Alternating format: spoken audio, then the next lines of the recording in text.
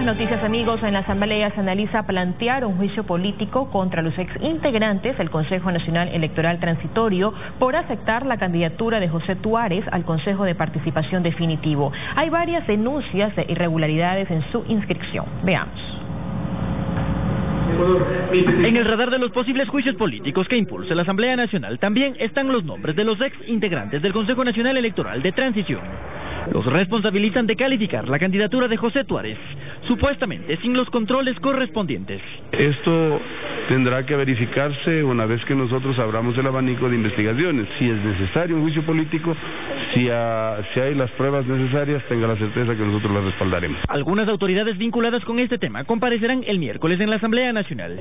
La información que entreguen podría generar que esa iniciativa se concrete. Con cualquier autoridad, sin excepción, la Constitución y la ley, el derecho a la igualdad no hay que mirar con excepción.